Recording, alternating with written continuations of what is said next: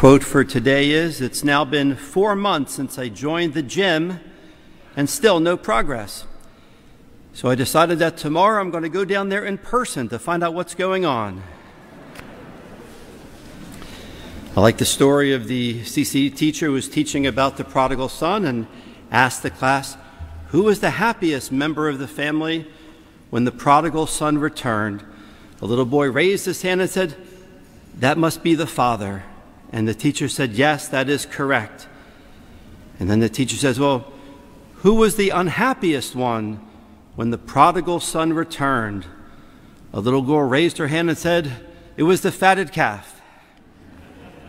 Today we have the world's greatest parable, the parable of the prodigal son.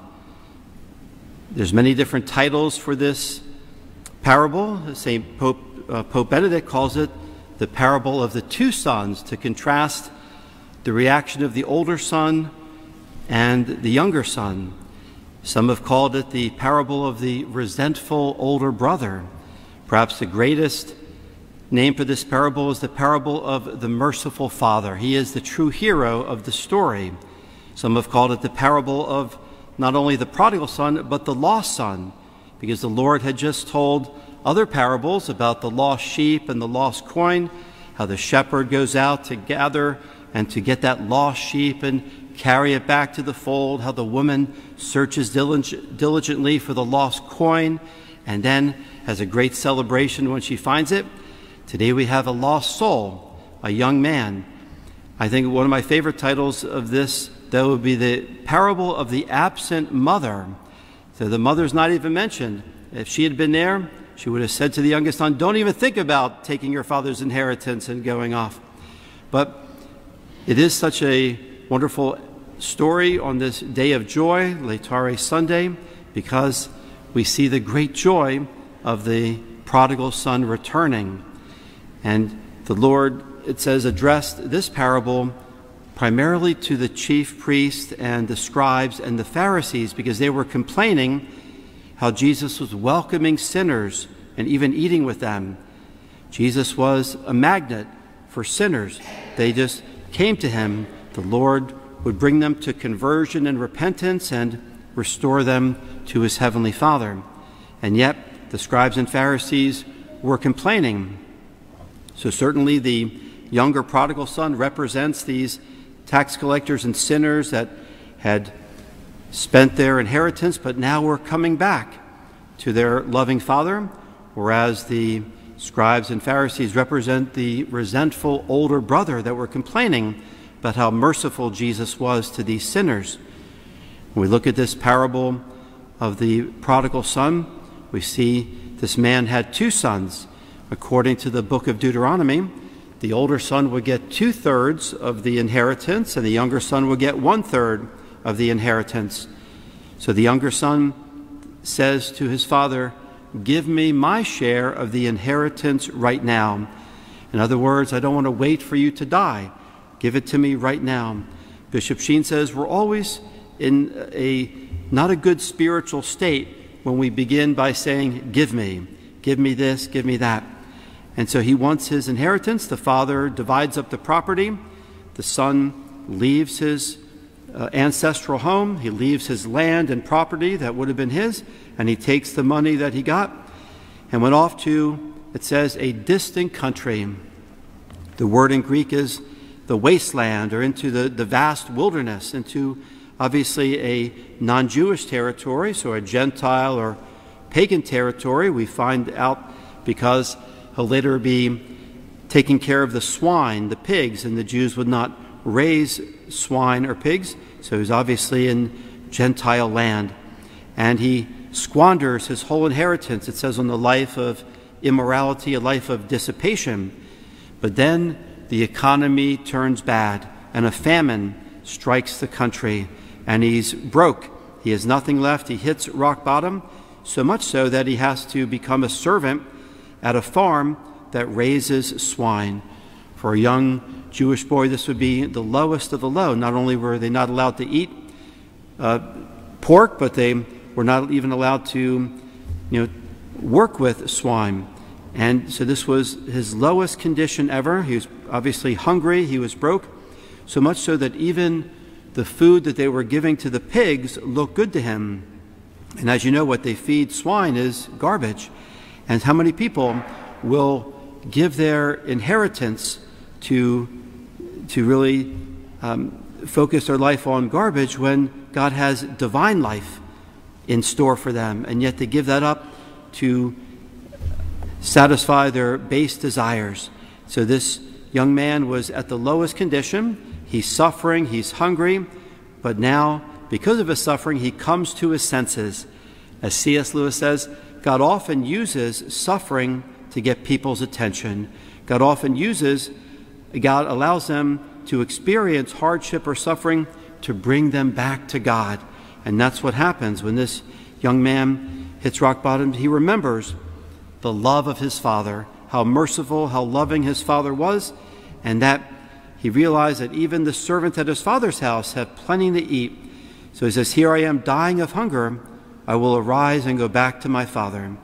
So he decides to go back and he decides to make his confession and realizing that he believes he can no longer be a son, he'll just be a servant. He says, I've already given up my inheritance, but just take me on, hire me as a servant. So he goes back and he, the beautiful thing is, the father is looking for him. The father sees him a long way off as a little speck on the horizon. He catches sight of him so obviously, he must have been praying for his son, looking for him every day. And he's filled with not anger, but with mercy and compassion. He doesn't even wait for the son to come to him. He runs to, out to his son. And for a dignified patriarch of the family to do this, this shows great humility. He doesn't care what people think. He actually runs to his son, embraces him, and kisses him. The Greek word here is that he throws his arms around his neck and continues to kiss and embrace him.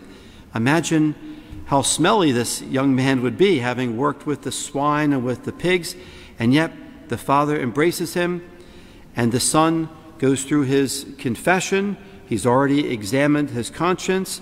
He makes his confession. He's sorry for his sins. He has a desire to amend his life and willing to accept the penance that he's given, which is, of course, in his mind, being a servant rather than the son.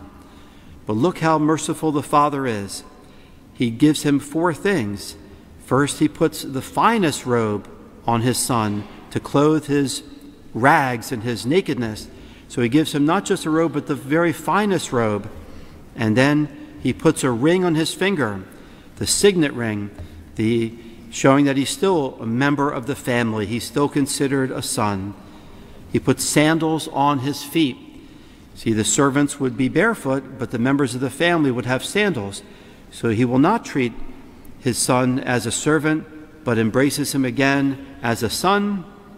He even kills the fattened calf. The fattened calf was like their Thanksgiving turkey that they would be um, getting ready by feeding it so that they will have a big feast with the fattened calf. And he slaughters it for a big banquet. So notice how confession comes before the banquet. That's why we go to confession first before we receive communion.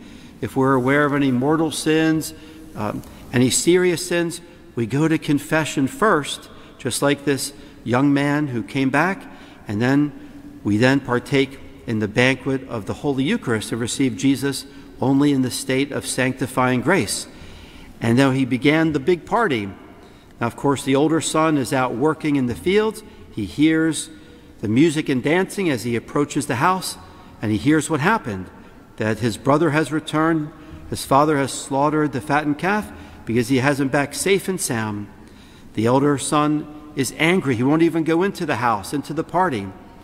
And so his father, the great hero of the story, comes out to plead with him. And I love if you've seen the TV series, the uh, Jesus of Nazareth by Zeffirelli that came out, the six hour mini series. Watch this episode where Jesus teaches the parable of the prodigal son because he uses St. Peter as the resentful older brother because Matthew, the tax collector, has been welcomed by Jesus to be one of the apostles, and Matthew throws the big party at his house for all of his friends, and Peter is standing outside. He won't go in to the party. He's resentful, he's angry at the mercy and kindness that Jesus is showing Matthew and the tax collectors and the sinners. So, again, it's such a beautiful episode in Jesus of Nazareth. So the father goes out to plead with the older son and says, Everything I have is yours. You'll inherit all of this. You will have this. But rejoice because your brother was lost and is now is found. He was dead and has now come back to life. Now, the interesting thing is, we do not know what happened to the older son. Jesus leaves it as a cliffhanger. Will the older son walk away and not go in? Or will he enter the house and join in the celebration? We don't know. Just as we don't know how many scribes and Pharisees were converted by the Lord. Did they remain hard hearted and reject the Lord, or did they come to the Lord? So we should ask ourselves which of these characters are we? Are we the prodigal son who needs to come back and go to confession? Are we the older brother who's dealing with resentment and anger and, and unwillingness to forgive? Hopefully, we're all the merciful father, the merciful parent who's willing to show compassion and mercy on everyone. Tomorrow is our penance service. We have two penance services this week tomorrow at 4 o'clock and Tuesday at 7 o'clock. So we'll have seven of us here confessions, Father Barquette and myself, as well as five Dominicans. So the reason why the church gives us this reading during Lent about reconciliation and going to confession and being reconciled to our loving Father is because the church wants us, especially, to make a good confession during Lent. So take advantage of the opportunity tomorrow when we have seven priests, tomorrow at 4 o'clock, or Tuesday night at 7 o'clock, and come and be healed and forgiven of your sins, be restored to the good graces of God, our loving Father, and experience the love of the Heavenly Father for you.